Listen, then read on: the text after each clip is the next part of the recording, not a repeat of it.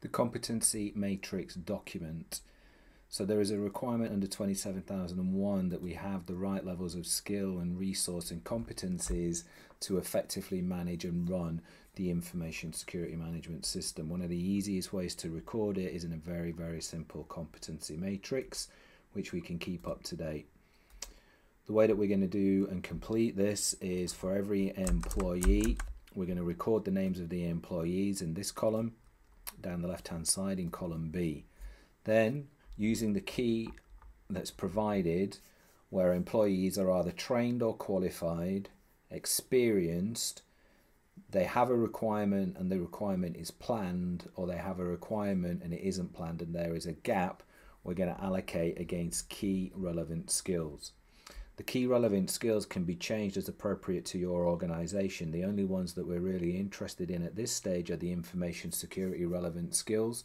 And again, this has been pre-populated um, with the most common industry uh, requirements and skills.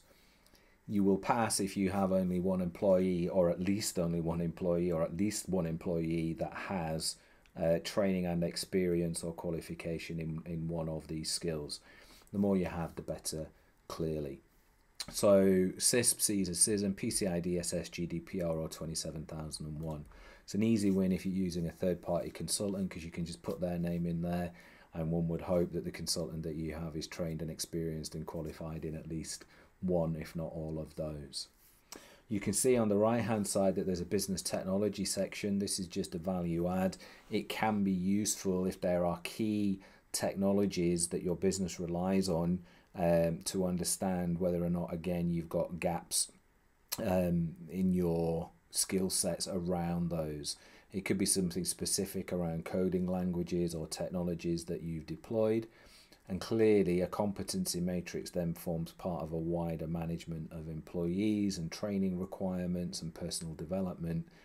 But for now, we're just going to record those competencies. And what we want to evidence come the audit is that we have employees that have some level of experience, training, or qualification around information security management system and that they know what they are doing.